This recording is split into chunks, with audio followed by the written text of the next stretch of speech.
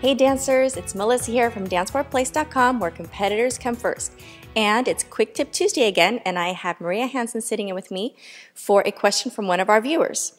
This question is coming from Kristen, okay. and she says, um, The most common comment I hear from my teacher is to take bigger strides back.